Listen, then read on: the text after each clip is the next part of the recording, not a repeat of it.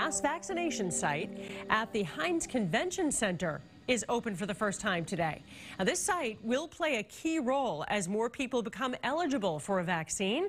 WBZ's Anna Meiler explains how. The Hynes Convention Center here on Boylston Street is having a soft launch today, and soon it will become the largest mass vaccination operation in the state. We're super excited anytime we open a new site. As vaccinations wind down at Fenway Park, they are ramping up at the Hynes Convention Center. This new mass vaccination site will eventually be able to administer nearly 9,000 shots a day. Between Gillette Stadium, uh, Hynes, and Reggie Lewis, we'll be, we could probably be doing close to 100,000 a week. And so that starts to get you a sense like, oh, okay, and then in 10 weeks you could do a million. The increase in capacity will be needed as about 850,000 more residents become eligible on Monday. The group includes people over 60 and essential workers, like employees at restaurants and grocery stores.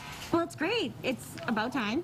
We've been waiting a long time. Governor Baker says they've been in constant communication with the federal government about vaccine supply and two days ago received assurances about how many doses Massachusetts will receive in the coming weeks.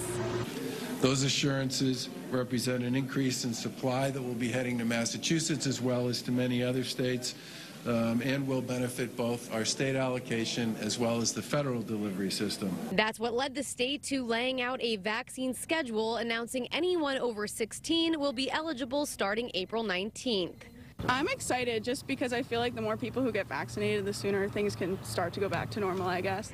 The Hynes Convention Center officially opens on Monday and will operate every day of the week. To get an appointment at a mass vaccination site, you need to pre-register at mass.gov slash COVID vaccine. Reporting in Boston, Anna Meiler, WBZ News. The